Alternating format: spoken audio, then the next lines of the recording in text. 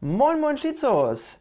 Ja, die meisten von euch, die haben es ja schon gesehen in der aktuellsten Ausgabe von No Risk No Fun, die sechste Ausgabe. Da habe ich ja äh, eine Challenge gehabt, in der ich Surströmming essen musste. Und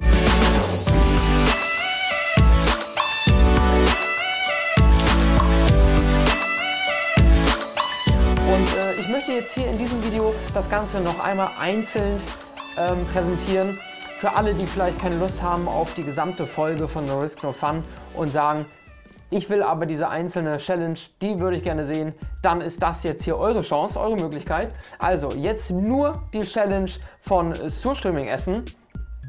Was ist überhaupt No Risk No Fun? Vielleicht das noch einmal vorweg erzählt.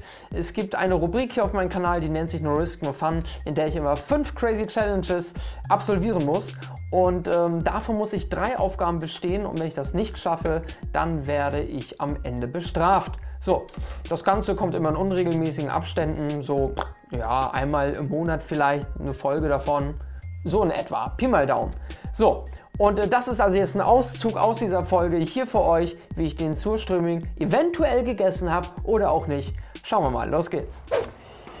So, Schizus, pass auf. Jetzt haben wir etwas vor. Das äh, habt ihr vielleicht schon auf den einen oder anderen YouTube-Video sehen können. Und zwar gibt es ja diesen Stinkefisch, ne? diesen schwedischen Stinkefisch, der hört auf den Namen Surströmming.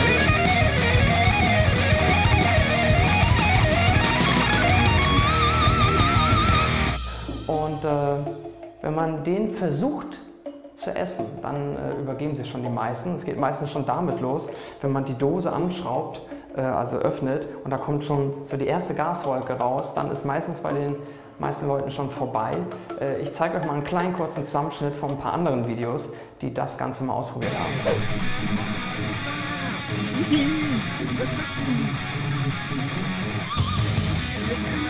Oh! Oh! oh! Oh!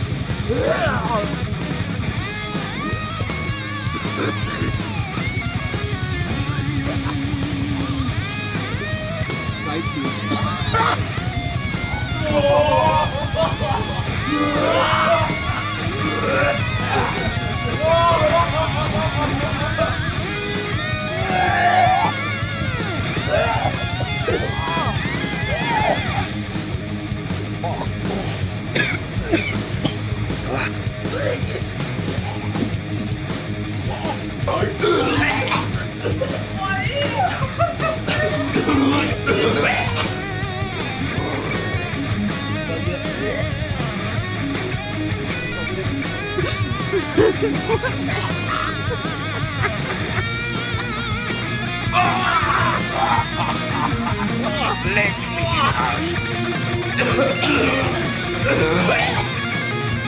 Oh,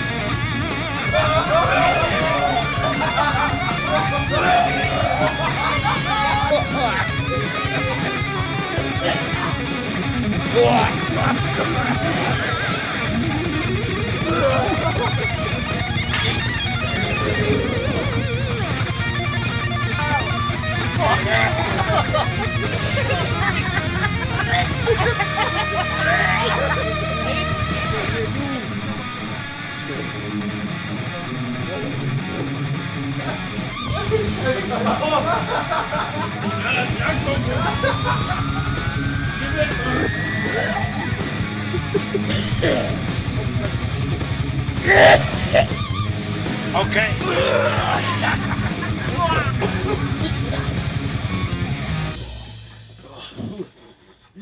Alter. Ja, hier ist der Fisch drin. Und äh, ich kann ihn ja schon einmal rausholen.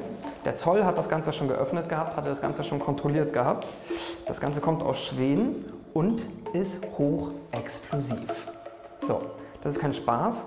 Man darf diese Dose tatsächlich auch äh, auf Flügen nicht ähm, ja, transportieren. Das Ganze darf nicht mit im Flugzeug sein, weil vielleicht kann man es ein bisschen sehen, diese Dose wölbt sich leicht nach oben und das ist jetzt nicht normal, sondern das ist wirklich, weil da drinnen ordentlich Druck ist.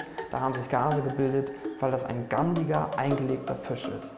Und äh, ich blende euch mal ganz kurz den Text ein, ähm, was auf Wikipedia steht, wenn man mal diesen äh, Fisch dort eingibt. Da steht nämlich folgendes.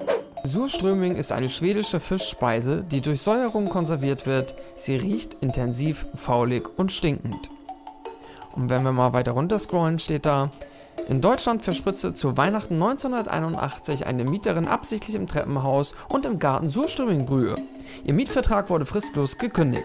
Das Landgericht Köln bestätigte die Kündigung, nachdem in der mündlichen Verhandlung eine Dose Surströmming geöffnet worden war. Ja, ganz, ganz leckere Delikatesse. Wir werden es sehen.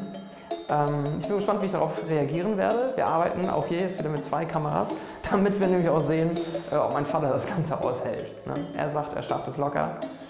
Denn diese Aufgabe ähm, besteht aus zwei Aufgaben. Nämlich einmal, sobald die Dose das kleinste Loch drin hat, Gas ausströmt, ab da an gilt die erste Aufgabe, ich darf mich nicht übergeben.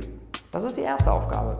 Und die zweite Aufgabe ist, ich muss in der Größe eines Teelöffels, also ein Stück, was auf einen Teelöffel passt, das muss ich wirklich essen und runterschlucken. Und nicht nur rein in den Mund runterschlucken, sondern auch laut Regelwerk muss ich mindestens fünfmal drauf kauen, bevor ich es runterschlucke. Das ist die zweite Aufgabe. So. Ähm, und hier gilt, eine Aufgabe muss ich mindestens davon schaffen. Wenn ich eins nicht einhalte, dann ist egal ich kann das Ganze so nicht machen, ne? hier so mit meinen Klamotten und so weiter und so fort. Es ist schon alles sehr bestialisch. Es ist quasi das äh, Vortor zur Hölle und dementsprechend äh, werde ich mich noch mal ein bisschen rüsten. Bis gleich. So, okay, also ich äh, bin jetzt in voller Montur. Ich habe mich hier ein bisschen geschützt, damit das nicht so auf die Klamotten spritzt. Handschuhe ist klar. Ähm, naja, und das erklärt sich gleich von alleine, was hier nämlich passieren wird. So, los geht es. Ich nehme Platz ein. Ja, ich mache das hier schon mal vorsichtshalber auf, denn es könnte gut sein, dass man äh, nachspülen muss. So, dann Freunde, ja, die guten Tischmanieren, die dürfen natürlich nicht ausbleiben. Äh, ich weiß nicht, können wir das hier irgendwie, äh, ich lege es hier vor mir hin. So, ich lege es hier vor mir hin. So, okay, so. Und nun werde ich mich hier an der Dose versuchen und den ersten Anstich machen. Ja, Los geht's. Und alle gucken. Ja. Achtung und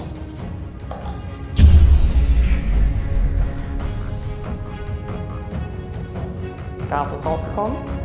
Okay, ich rieche schon, ich rieche schon. Den Duft kenne ich irgendwoher. okay. Also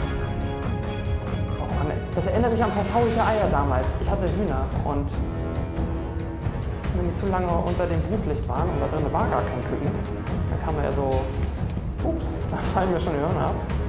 Die äh, haben auch keinen Bock mehr. So. Riechst du schon was? Nein? Es hat auch nur kurz gezischt. Boah. Okay.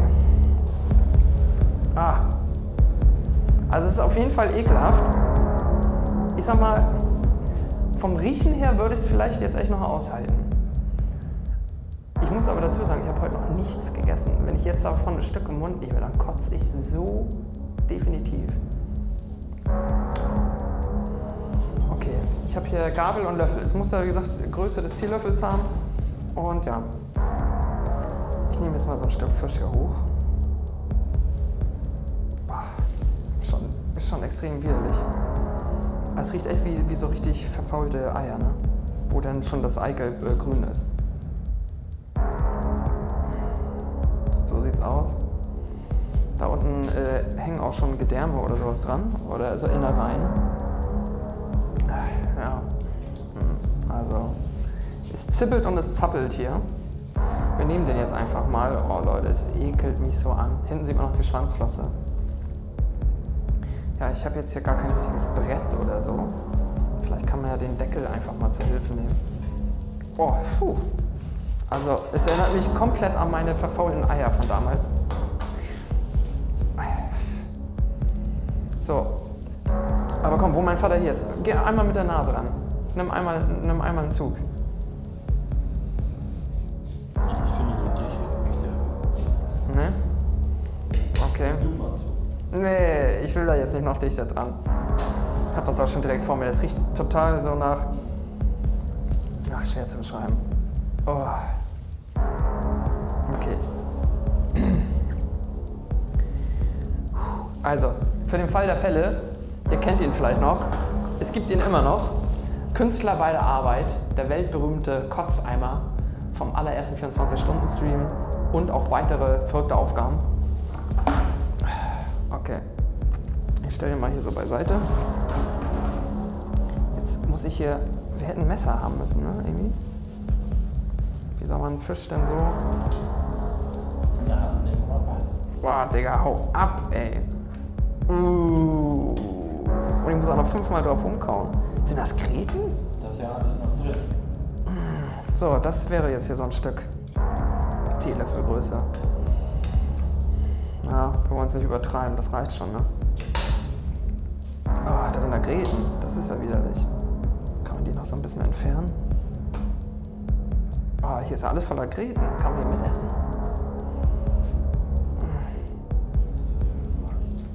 Mm, Das macht es ja noch abartiger. Gräten mit Haut und alles.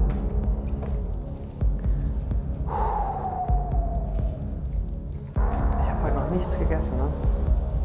Servus. Okay. Ah.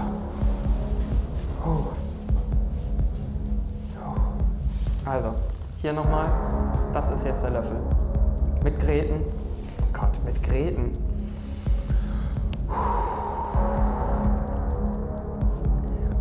Und fünfmal kauen, okay. Und dann komplett runterschlucken, ne?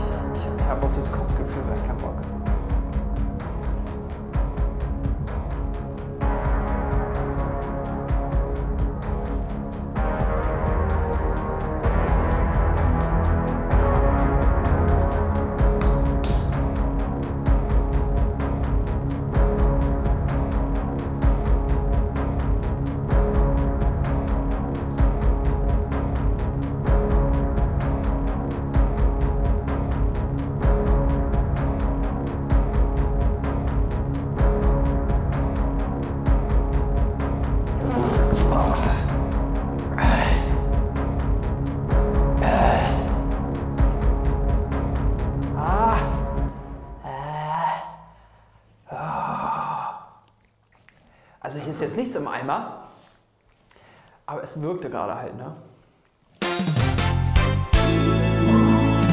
Also ganz, ganz salzig. Im Mund natürlich vom Geschmack her nochmal ganz extrem. Ja, aber eigentlich bestanden, ne? Aber komplett.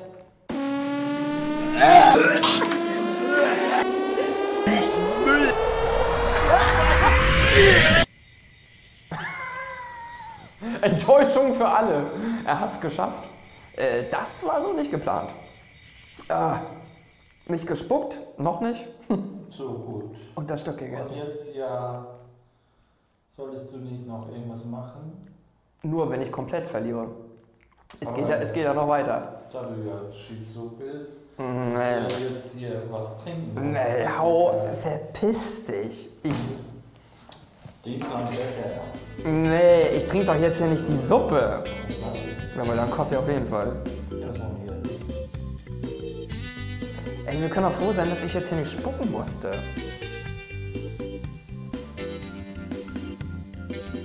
Oh nee, das geht nicht. Das ist super. Aber warum bist du denn so einer? Mit dir dreht doch nie wieder. Ich bin ja froh, dass ich es geschafft habe überhaupt. So, erstmal erst ein Stückchen hinterher.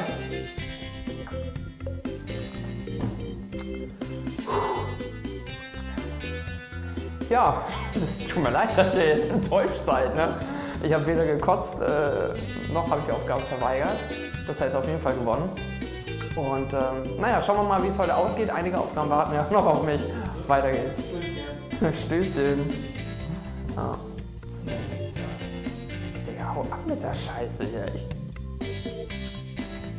ich kann das nicht machen. Da, ich, ich gewinne dadurch ja nichts.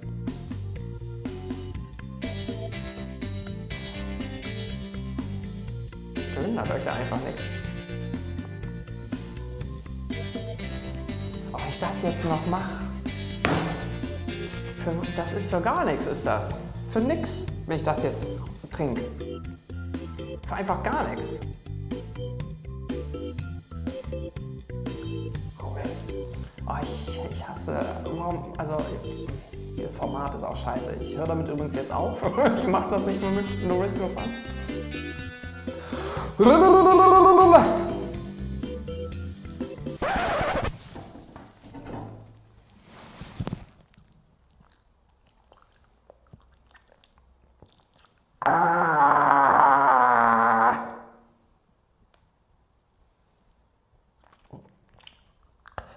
werde den Geschmack nicht los. Die kann man aber auch trinken.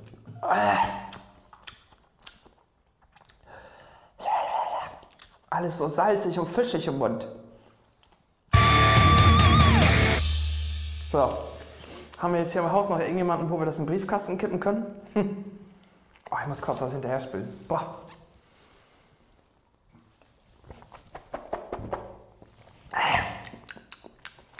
Ist immer noch da. Ja, also entweder machen die anderen alle da extremes Theater. Was wir uns anders vorgestellt. Ja.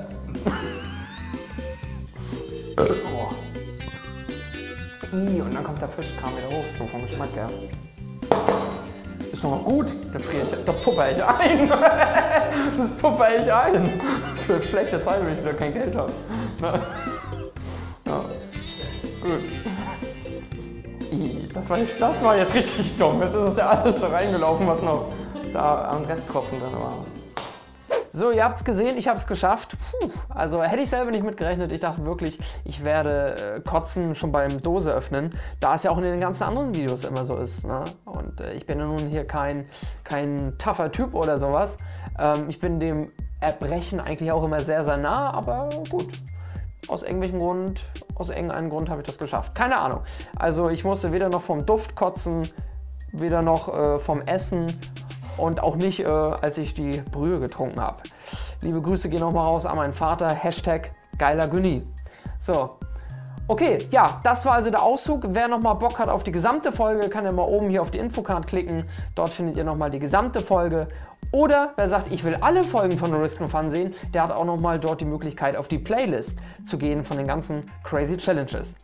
Ich bedanke mich fürs Zuschauen. Wir sehen uns das nächste Mal wieder, wenn ich wieder live streame oder ein Video raushaue. Also bis dann, macht's gut, auf Wiedersehen, aus.